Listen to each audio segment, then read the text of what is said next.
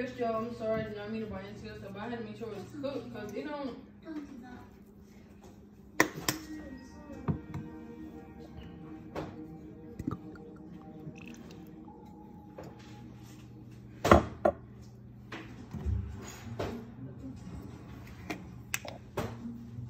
If they still taste cold, Joe, just tell me and I'll put them in here.